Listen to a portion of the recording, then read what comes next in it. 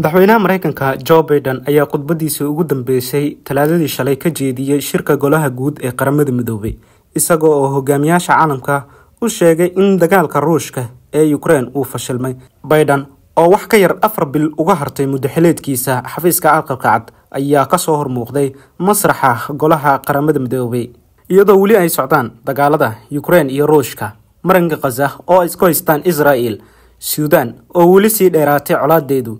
iyo xadka lubnaan oo ay weli ishortaagan yihiin xisbullah iyo israel waxa uu sheegay in dagaal buuxa oo dhex mara israel iyo xisbullah aysan cidna dani ugu jirin xitaa haddii ay xolaadu sii xumaato ayuu yidhi. Isagoo intaasi sii raaciyay in weli uu jiro xal diblomaasiyadeed oo laga gaari karo dagaalka xisbullah iyo israel madaxweyne baiden ayaa boqol saddex iyo sagaashanka xubneed ee golaha loo dhan yahay ee qaramada midoobe hortooda ka diray baaq ku aadan soo awjaridda dagaalka khaza iyo sii deynta la haystayaasha reer israel mar uu ka hadlay dagaalka ruushka iyo ukrein ayuu baiden sheegay in dagaalka uu madaxweyne putin soo abaabulay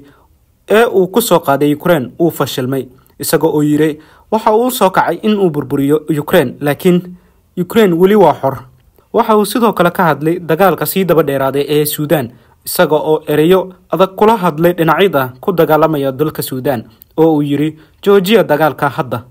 Madaxweyne baiden ayaa bishii julaay ee sanadkan ku dhawaaqay in uusan mar kale isu soo sharxi doonin doorashada madaxtinimada dalka mareykanka taas oo ka dhigtay madaxweyne hal xili u shaqeeyey shacabka mareykanka. Cabdicasiil c muqdisho